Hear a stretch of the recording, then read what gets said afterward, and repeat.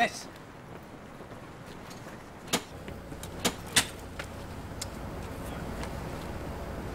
If you took it from me, I'm gonna put you in a hole for the rest of your life.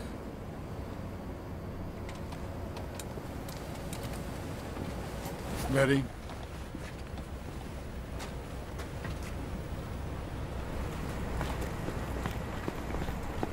Never seen anyone come around from a Otrantos like that. Why the hell aren't we keeping him under?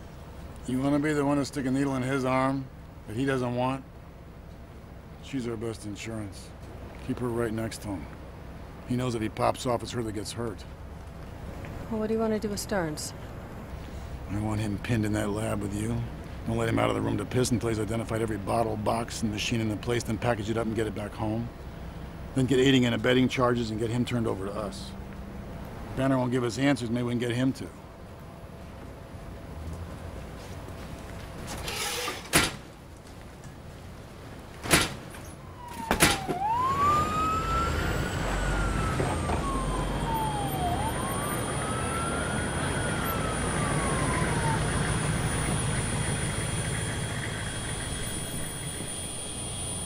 Betty, I will never forgive what you've done to him.